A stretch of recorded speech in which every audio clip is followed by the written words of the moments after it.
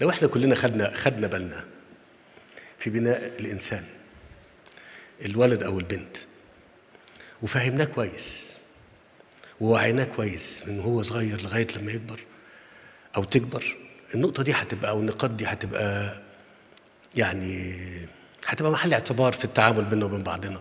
مش هنشوف تنمر مش هنشوف آه آه في الشارع آه يعني حاجة مش لطيفة مش عايز أقول التعبير تحرش ولا كلام من ده مش هنشوف ده ومش هنشوف حاجات تانية كتير.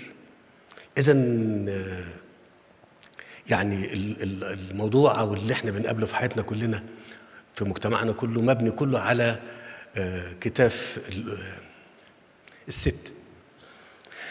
كتاف الست. وفي ناس كتير يقولوا يعني يعني سبب ال- الرحمة اللي عندك وهم بيقولوا حاجة تانية مش بيقولوا رحمة بس بيقولوا الحنية يعني.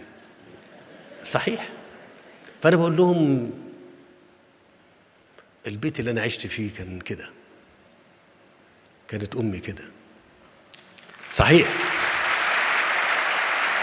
ف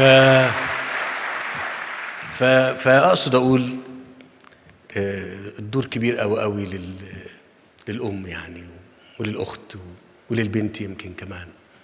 مهم قوي قوي في المجتمع اللي إحنا موجودين فيه.